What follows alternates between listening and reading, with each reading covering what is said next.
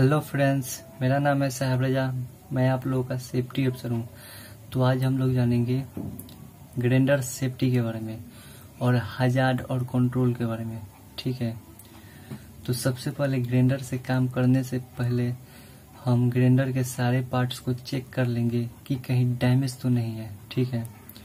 और grinder grinder में जो व्हील है, उस पर गार्ड होने चाहिए। नहीं तो हमारा हाथ कट सकता है। या फिर किसी प्रकार से वो टूटकर हमारे फेस पे चोट लग सकता है या फिर फेस कट सकता है। और ग्राइंडर का जो व्हील है उसको उसका हम लेवल और एम चेक कर लेंगे। हम एक्सपायरी डेट उसका चेक चेक करेंगे। अगर एक्सपायर है तो उसे चे, चेंज कर देंगे। और उसका साइज़ चेक करेंगे साइज़ कितना है और कौन सा कंपनी का अच्छे अच्छे कंपनी का होना चाहिए, ठीक है? तो ये सब हम लेवल और एमएसडीएस में चेक करेंगे। और कभी भी ग्राइंडर मशीन से व्हील आरपीएम ज़्यादा होना चाहिए, ठीक है? और दूसरा आ जा रहा है इनहेलिंग डस्ट एंड फॉर्म्स तो हम लोग ग्राइंडिंग करेंगे तो उसमें से डस्ट और फॉर्म्स निकलेगा। तो ये हमारे फेफड़े खराब कर सकते हैं, ठीक है? तो इनसे बचने के लिए हम लोग डस्ट मास्क का उपयोग करेंगे। और तीसरा हज़ार है एक्सप्लोजिव और फायर। तो हम लोग जहाँ पे ग्रैंडिंग करेंगे, वहाँ पे आसपास कोई भी ज्वलनशील पदार्थ नहीं होना चाहिए। जैसे diesel, petrol, CNG gas, LPG gas acetylene gas, नहीं तो फायर हो सकता है, ठीक है? और चौथा हज़ार है इलेक्ट्रिक शॉक तो हम लोग ग्राइंडिंग करने से पहले हम अपना केबल चेक कर लेंगे कि कहीं से कटा फटा तो नहीं है। नहीं तो इलेक्ट्रिक शॉक लग सकता है, ठीक है? और कोड को भी चेक कर ले, कर कर लेंगे। वो थ्री पिन का होना चाहिए। एक मेन फेस का होता है, एक न्यूट्रल होता है, एक ग्राउंडिंग होता है, ठीक है? तो ये सब सारी चीज़ें चेक कर लेंगे।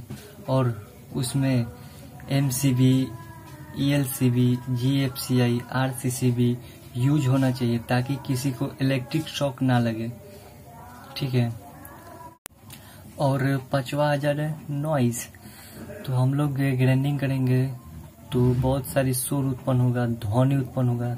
तो ये हमारे कान खराब कर सकते हैं। ठीक है?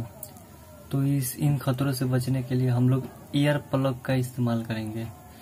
और छठा हज़ार है मस्कुलस किल्टिल तो हम लोग एक ही समय से, एक ही पोजीशन में हम लोग ग्राइंडिंग करेंगे तो हमारा हाथ में दर्द हो सकता है पैन हो सकता है, ठीक है? और झिंझिनाहट हो सकती है। तो ये भी एक बहुत बड़ा खतरा है। हमारा हाथ कट सकता है बॉडी नस खराब हो सकता है, ठीक है?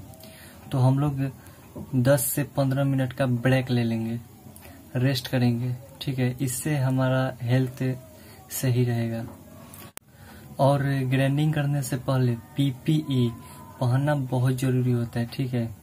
हम लोग पीपीई पहनेंगे पीपीई का फुल फॉर्म होता है पर्सनल प्रोटेक्टिव इक्विपमेंट जैसे गॉगल्स या हमारे आँख को डैमेज या फिर इंजुरी होने से बचाती है। हेलमेट यह हमारे सिर को चोट लगने या फिर फटने से बचाता है। लेदर ग्लव्स यह हमारे हाथ को कटने या फिर जलने से बचाता है। एयर प्लग यह हमारे कान को बहरापन होने से बचाता है।